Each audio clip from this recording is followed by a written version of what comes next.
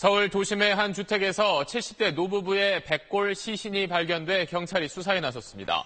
경찰은 그제 낮 서울 서대문구의 한 주택에서 이상한 냄새가 난다는 한 주민의 신고를 받고 출동한 결과 집주인 70대 이모 씨 부부의 시신을 발견했다고 밝혔습니다.